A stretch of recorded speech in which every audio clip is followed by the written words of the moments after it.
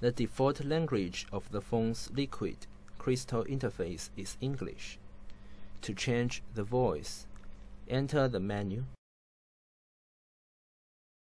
choose Settings and set the desired language, then click Save.